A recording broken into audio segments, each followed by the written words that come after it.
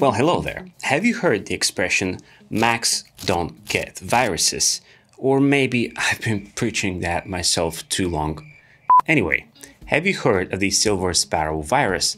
Released in December 2020 and so far discovered in more than 152 countries, it is designed to target specifically M1 Macs, and it is disguised as a macOS installer JavaScript API. Believed to have infected over 29,000 Macs, the Silver Sparrow is thought to be no more, but one can never be sure anymore. Despite the fact that macOS uses sandboxing to limit what apps can do, keeping them from accessing other apps or system files, there are still cases of viruses and malware targeting Macs. But how would you know if your Mac is a target?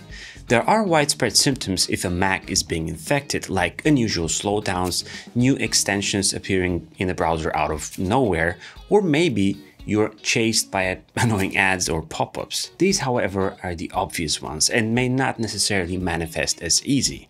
So how can you really be sure? Well, first off, if you think one of your apps is infected, you can just delete the whole thing and download it again.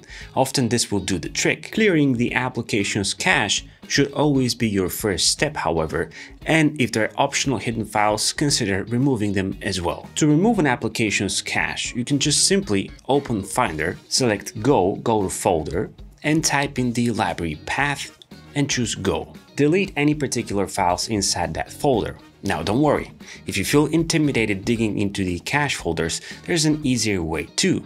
I use an app called CleanMyMac X, which can be downloaded through Setapp. Besides providing a ton of other features that helps me keep my Mac as fresh as possible, one embedded functionality is malware scan and removal. Here's how it works.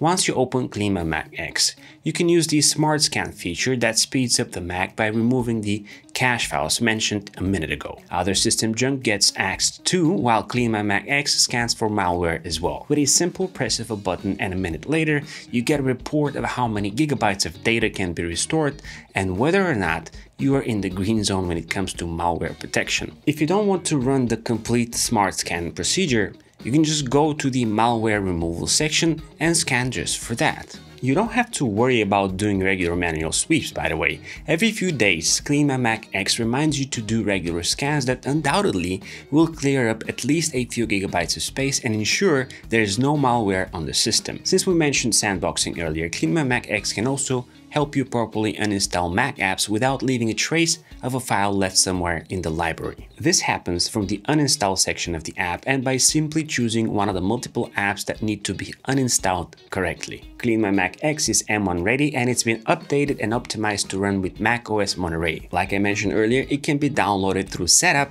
a platform that helps you complete a variety of tasks on your Mac, which would normally require you to search the internet and install separate apps. With Setapp, you can simply use a one-stop subscription to gain access to over 200 plus apps.